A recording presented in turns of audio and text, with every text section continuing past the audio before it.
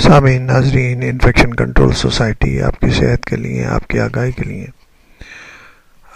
आपको की तिब्बी मालूम को बेहतर करने के लिए मजामी आपकी समाज के लिए पेश करती है।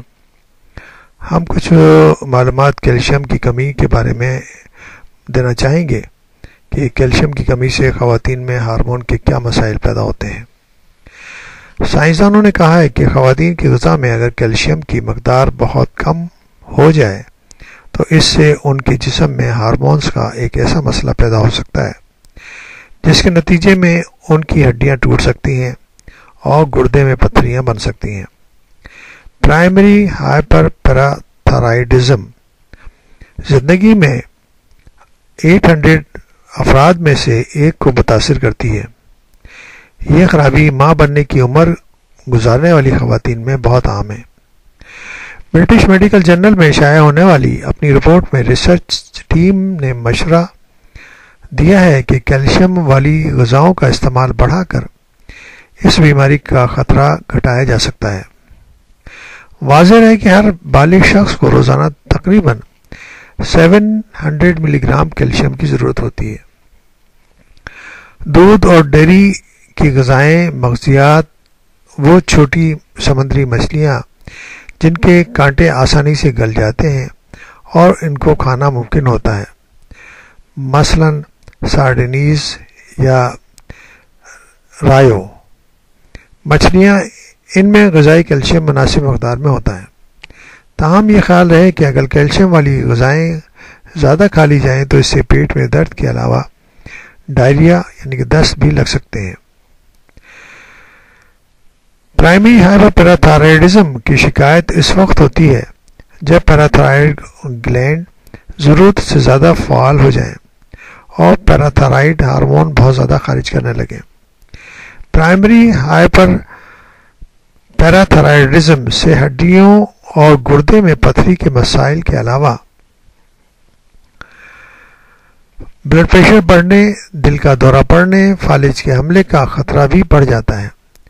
इस सिलसिले में 58,300 खातन की सेहत का जायजा लिया गया था जिनकी उम्र 1986 में जबकि इस रिसर्च का आगाज़ किया गया था।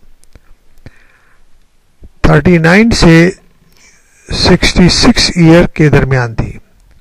इससे पहले उनमें प्राइमरी हाइपर पैराथायरॉयडिज्म की कोई शिकायत नहीं देखी गई थी। इन खातन ने अपनी गज़ाई आदत से मुतल सवालनामे पुर किए थे।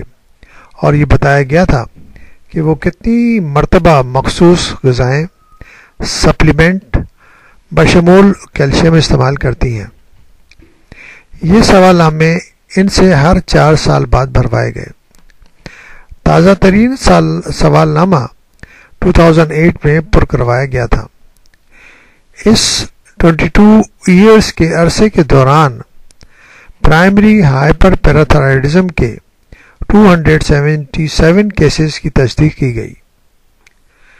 रिसर्चर्स ने इन खातन को कैल्शियम इस्तेमाल करने की मकदार को मलूस रखते हुए पाँच ग्रुपों में तकसीम किया गया था और इस सिलसिले में दीगर अवामिल मसन उम्र बॉडी मास इंडेक्स और नस्ली शनाख्त को भी पेश नज़र रखा गया था।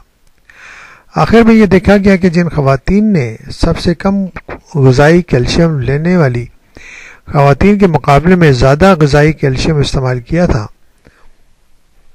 उनमें प्राइमरी हाइपर पैराथायरॉयडिज्म लाक होने का 44 परसेंट कम इम्कान था। रिसर्च के कायद जोली बैक ने कहा कि गजाई और दवाई दोनों सूरतों में कैल्शियम के मुनासिब इस्तेमाल से खातन में प्राइमरी हाइपर पैराथायरॉयडिज्म का खतरा कम किया जा सकता है। तहम बरतानवी तबी माहरीन का अब भी इसरार है कि कैल्शियम की ज़रूरत को गजाओं से पूरा करना ज़्यादा बेहतर तरीका है।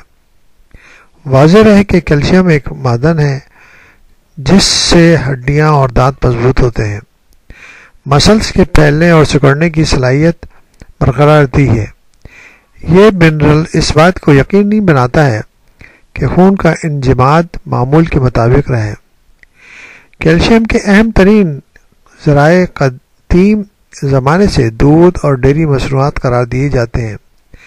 ताहम जिन दीगर गज़ाओं में कैल्शियम मौजूद होता है। इनमें मछली, खुश्क मेवाजात तिल, बादाम, सोया, गहरे सब्ज रंग की पत्तियों वाली सब्ज़ियाँ। ये बात भी याद रहे कि कैल्शियम को जज्बे बंद बनाने के लिए विटामिन डी की भी अशद ज़रूरत होती है, क्योंकि इसके बगैर कैल्शियम हड्डियों और जिस्म में जज्ब नहीं हो सकता। तो ज़रूरी है कि कैल्शियम के साथ विटामिन डी की भी मुनासिब तादाद ली जाए ताकि मसाइल ना हो सके।